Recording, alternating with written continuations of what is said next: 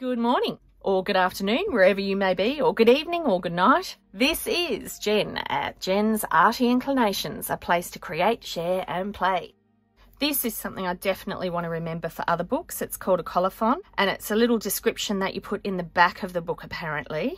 It's a bookmaker's thing, and you can talk about what the book is. So it's sort of your, I guess, your after note on it.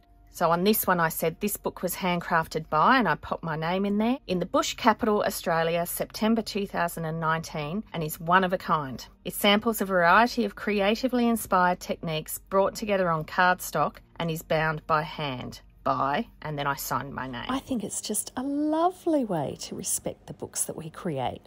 So, just another idea to think about for your books. So there you go.